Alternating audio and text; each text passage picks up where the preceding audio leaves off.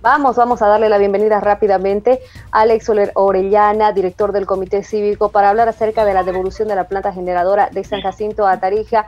Alex, muy buenos días, perdón, muy buenas tardes, bienvenido.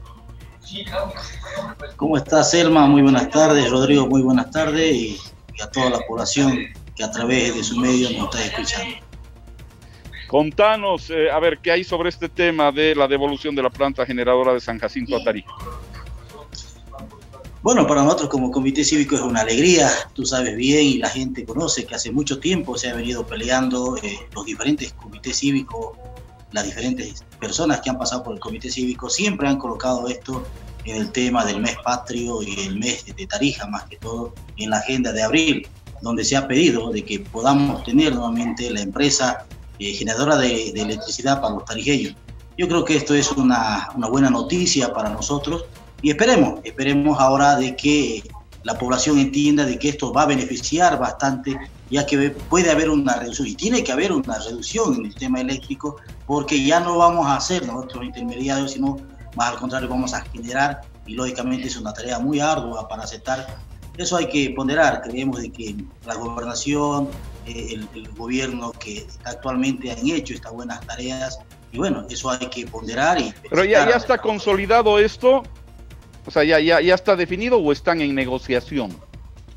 A lo que ha llegado la información al Comité Cívico que está consolidado, puesto de que ya están todas las tratativas y esperemos de que en las próximas semanas ya nuestras autoridades puedan dar directamente a la población la información y eso va a ser gratificante, ¿no? Porque tanto se ha luchado y tanto se habla el tema eléctrico, eh, tenemos muchos problemas en sectario, yo creo que esto va a ayudar bastante a la población, más que todo en el tema económico en la situación que se encuentra.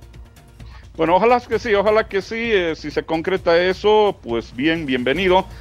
Más bien, si los ves al ministro de Energía y a la otra gente, diles que también, sabes que hay que plantearles, eh, yo sé que está haciendo, pero hay que plantear fuerte también que no paguemos el interconectado nacional, eh, Alex. yo siempre pido la explicación, pido que me expliquen y me den una explicación coherente por qué el único departamento de Tarija que paga el interconectado eh, al sistema eléctrico del país es Tarija. Entiendo yo que me desmientan si estoy equivocado, por favor, pero entiendo yo que en ningún otro departamento se ha dado este caso, que solo los tarijeños, nosotros con nuestra plata estamos pagando el interconectado, mientras en Cochabamba, Santa Cruz, Oruro, el Beni paga el Estado boliviano. Eh, entonces esas cosas no las entiendo realmente. Eh, yo creo que está bien esto de, de, esta devolución de esta planta, Alex, me alegra mucho, es una reivindicación que se consigue, pero también tenemos que lograr temas como el del interconectado.